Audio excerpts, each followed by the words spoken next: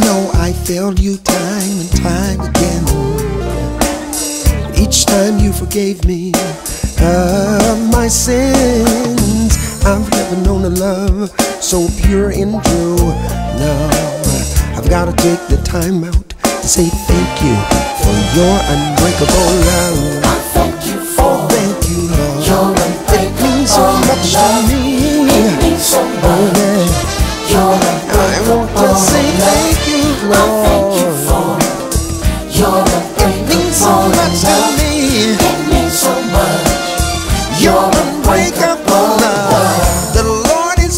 passion for living.